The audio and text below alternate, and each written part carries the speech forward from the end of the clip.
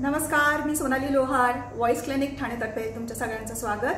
आज मी थोडंसं गायनाविषयी आणि सिंगर्सविषयी बोलणार आहे गायकांविषयी बोलणार आहे. एका गायकासाठी त्याचा आवाज म्हणजे त्याची ओळख आहे आयडेंटिटी आहे आणि त्याच्यामुळे तो अत्यंत महत्त्वाचा आहे. तुम्ही ट्रेन सिंगर असाल किंवा तुम्ही अनट्रेन सिंगर असाल तुम्ही दिग्गज कलाकार असाल किंवा तुम्ही अगदी बिगिनर असाल तुम्ही क्लासिकल सिंगर असाल किंवा तुम्ही नॉन क्लासिकल सिंगर असाल कोणीही जरी असलं तरी पण आपण संपूर्ण आपण जे गायन करतोय इतके वर्ष किंवा ज्या कालावधीसाठी गायन केलेलं आहे त्याच्यामध्ये तो एक ज्याला ब्रेकिंग डाऊन मोमेंट म्हणतो जेव्हा आवाजाचा काही ना काहीतरी त्रास झालेला असतो तो अनुभवलेलाच असतो. आणि यासाठी सगळ्यात महत्वाचं आहे की प्रत्येक सिंगरने आपल्या स्वरदराने आपलं स्वरयंत्र जे आहे ते एखाद्या ई एन टी स्पेशालिस्ट किंवा व्हॉइस क्लिनिशियन्सकडनं वर्षातून एकदा किंवा दोनदा तरी तपासून घेतलं पाहिजे. कारण अशा वेळेला तुमच्या स्वरतरांना काहीतरी इजा झालेली असू शकते आणि ती वेळीच त्याच्यावरती उपाययोजना होणं हे अत्यंत गरजेचं असतं.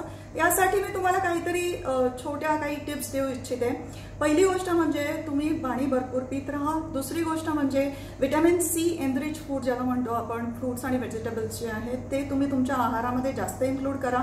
इन्फेक्शन्स कमी होत राहतील. तिसरी गोष्ट म्हणजे वोकल वॉर्म अप गाण्याच्या अगोदर आणि वोकल कूलडाऊन एक्सरसाइजेस हे अगदी आवश्यकच आहे त्याला पर्याय नाही आहे ते आपण केल्याच पाहिजे. आवाज खराब असेल ज्या वेळेला किंवा वोकल कॉर्डवरती सूज असेल इन्फ्लेम्ड वोकल कॉर्ड्स असतील असं जर एनटीने सांगितलं असेल तर त्या परिस्थितीत तुम्ही गाण्याचा प्रयत्न करू नका. अशा वेळेला शोज किंवा डबिंग्स किंवा रेकॉर्डिंग्स हे जर अवॉइड करता आले तर फारच छान आहे. ज्या वेळेला आवाज सुधारतो आहे त्या रिकव्हरी पिरियडमध्ये आपण सुरुवात जी करायची आहे रियाजाची प्रॅक्टिस करायची आहे किंवा एक्झरसाईज तर त्या आपण हमिंगने करायच्या आहे. साधारण दिवसातून दहा ते पंधरा मिनटं आपण हमिंग हे आपल्या मिड रेंजमध्ये करायचं आहे आणि मग हळूहळू आपलं गायन आणि आपल्या एक्झरसाईज या वाढवत न्यायच्या आहेत. मी तुम्हाला आपला श्वास घेणं आणि गाणं या दोन्हीचं जे कनेक्शन आहे त्यासाठी एक छोटीशी exercise connecting your breathing with your सिंगिंगसाठी एक छोटीशी एक्झरसाईज तुम्हाला सांगणार आहे. नाकाने श्वास घ्यायचा आहे डीप ब्रीथ करायचा आहे आणि ॲबडॉमिनल ब्रिदिंग करायचं आहे म्हणजे श्वास पोटात भरून घ्यायचा आहे. त्यानंतर श्वास बाहेर सोडताना तोंड मोठं उघडून आपण आपला सा लावायचा आहे. तुमच्या स्वतःच्या पिचमध्ये तुम्हाला हे करायचं आहे. फक्त तो जोराने म्हणजे लाऊडली करायचा आहे. सा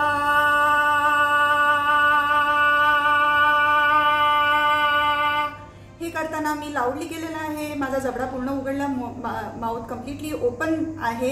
जितकं जास्त ओपन करता येईल तेवढं ओपन केलेलं आहे. माझ्या घशावरती काहीही जोर नाही आहे. माझा आवाज हा पोटातून येतो आहे. जोर पोटावरती आहे आणि तो लाऊड आहे. अशा प्रकारे तुम्ही तुमच्या सगळ्या नोट्स ह्या तुमच्या मी डॉक्टरमधल्या जेवढ्या नोट्स आहेत तेवढ्या सगळ्या प्रॅक्टिस करू शकता. You can go octave up आणि डाऊन सुद्धा. वरच्या आणि खालच्या सुद्धा सप्तकात तुम्ही ही प्रॅक्टिस करू शकता.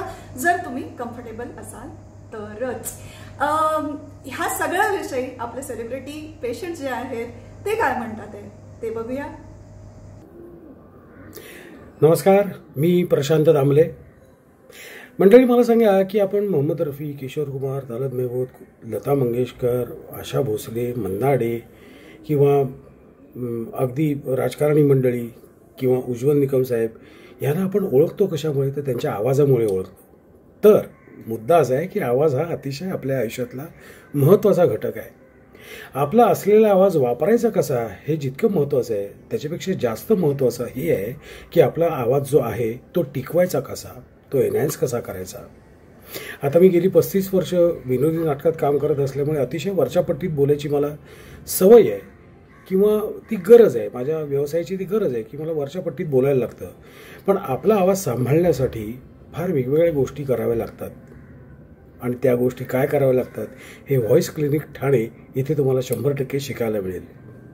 मला असं वाटतं की आवाज आवाज हा अतिशय महत्त्वाचा आहे. कलाकार मंडळी त्यानंतर गायक मंडळी वकील मंडळी राजकारणी मंडळी. इवन प्रेमाच्या चार गोष्टी बोलताना सुद्धा आवाज काय बोलतो हे आपण आधी ऐकतो. किंवा रागवल्यानंतर आपल्याला कळतो की हा रागवला आहे ते सुद्धा आवाजावरून कळतं. सो बेसिक लाईन इज की आवाज जो आहे तो सांभाळायला पाहिजे तो एनहॅन्स करायला पाहिजे. आणि त्यासाठी व्हॉइस क्लिनिक ठाणे हे आता ऑनलाईन उपलब्ध झालेलं आहे. तर या व्हॉइस क्लिनिक ठाणेला माझ्या खूप मनापासून शुभेच्छा. आणि फक्त आमच्या क्षेत्रातलीच नाही किंवा वकील क्षेत्रातलेच नाही तर सर्व क्षेत्रातल्या लोकांनी आवाजाची काळजी घेणं आपल्या व्होकलची काळजी काळजी घेणं अतिशय महत्त्वाची आहे. आणि ती कशी घ्यायची हे आपल्याला आता ऑनलाईन बसून कळणार आहे. तर व्हॉईस क्लिनिक ठाणेला माझी खूप मनापासून शुभेच्छा. नमस्कार. नमस्कार. माझं नाव राहुल रानडे. काही वर्षांपूर्वी माझी डॉक्टर सोनाली लोहार यांच्याशी ओळख झाली. आणि मी त्यांना म्हणलं आपण काय करता? तर त्या म्हणल्या मी व्हॉईस क्लिनिक चालवते. आता काय आहे माझ्यासाठी ही गोष्ट बऱ्यापैकी नवीन होती. ई एन टी आपण ऐकलेले असतात. नाक कान घसा यांचे तज्ज्ञ. पण फक्त घशाचा तज्ज्ञ फक्त वोकल कॉर्ड्सचा तज्ज्ञ मी पहिल्यांदाच बघत होतो. आणि नंतर आमची मैत्री जशी हळूहळू वृद्धिंगत झाली तशी मला डॉक्टर सोनाली यांच्याकडनं खूप माहिती मिळाली. आणि मी ती कौतुकाने ऐकत होतो. मला वाटतं एक संगीतकार म्हणून गायकांच्या आवाजाकडे नेहमीच माझं लक्ष असतं. तर गायकांनी त्यांच्या आवाजाची काळजी कशी घ्यावी त्याची निगा कशी राखावी हे खरं म्हणजे खूप मोठे विषय आहेत. आपण त्याच्याकडे फारसं लक्ष देत नाही. पण मला असे प्रश्न मुळात अनेकदा येतात की माझ्या मुलाचा की आवाज आता फुटतो आहे आणि तो गाणं शिकतोय लहानपणापासून. पण आता त्यांनी त्याची कशी काळजी घ्यायला पाहिजे?